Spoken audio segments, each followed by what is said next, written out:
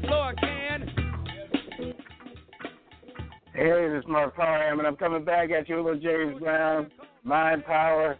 That's what we're going to be talking about here for the next few minutes.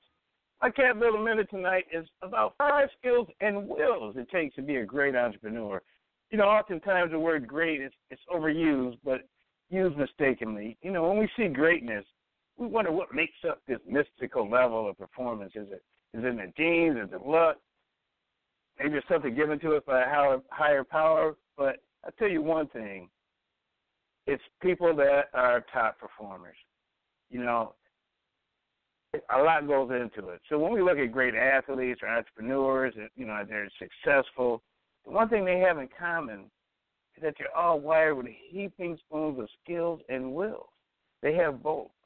Okay, skills with no will. You, having a skill is necessary to reach great success. That alone is just piece of the pie.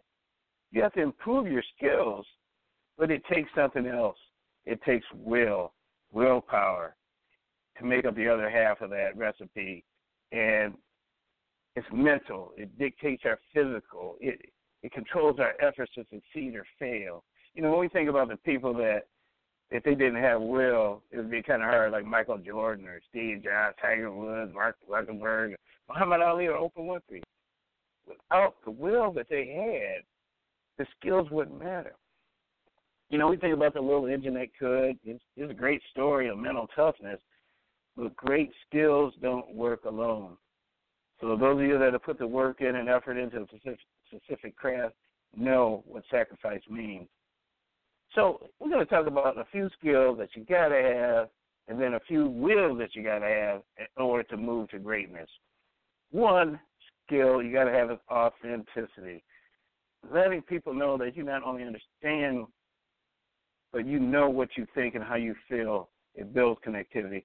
Allow your personal and your business story to be heard, but be truthful about it. People want to trust you. They want to do business with you. And being true to yourself, you can win fans that will help your business grow. Skills number two is decisiveness. You you have to be decisive. If you're indecisive, you, you won't make any decisions. You'll keep going back and forth. Sometimes you got to be decisive. And as I listen to you know Les Brown say, if you're going the wrong way, just turn around and go back the other way. That's probably the right way. So you got to make a decision. You got to move forward. Progress can only be made by making decisions. So don't not make them. Go ahead and make it. Another skill of having tough skin. One thing entrepreneurs must endure is rejection.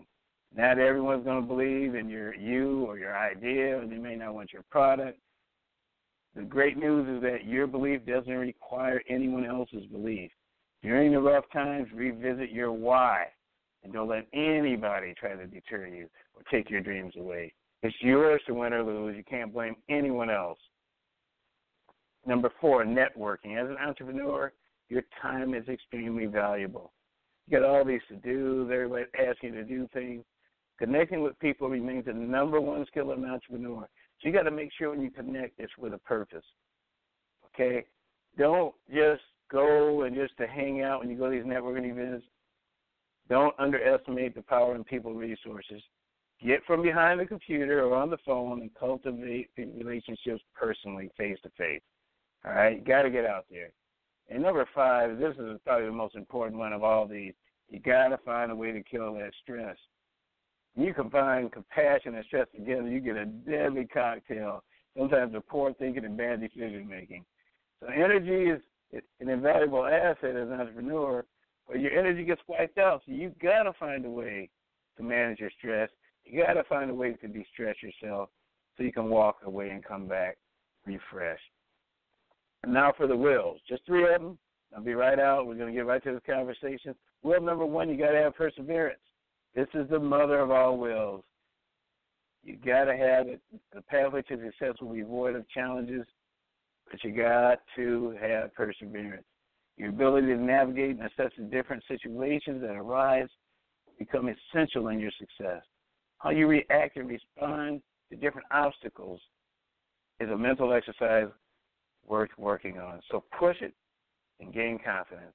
Number two, you have to have the will to succeed. It's the one thing to dream about success, but visualizing it means making it real. almost though it's really happening. So you gotta you gotta have this will. You gotta know that you can. You gotta put yourself in a position and act out how it would be. A lot of times you hear about athletes, you know, Michael Jordan shooting a basket, seeing the ball go in before he made the shot. You gotta will those balls in. And the last one is improvement. You can't grow without constant improvement. You got to get better every day. You got to learn. You got to study. You got to do things that help you understand, take it to the next level. Because to be an entrepreneur is one thing, but to be a great one,